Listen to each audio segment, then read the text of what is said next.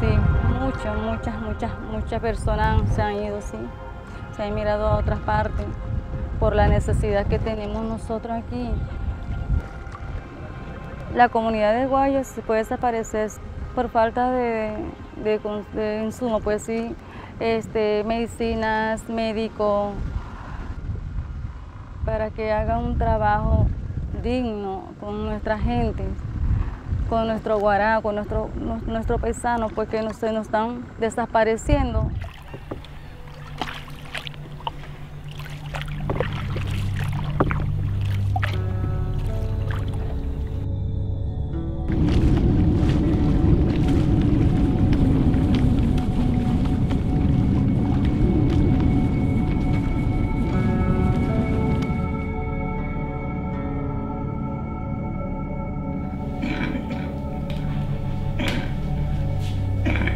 Bueno, nosotros somos los lo, que más hacemos el trabajo, que ya estamos como un poco adaptados ya allí, de trabajar como un médico prácticamente ya.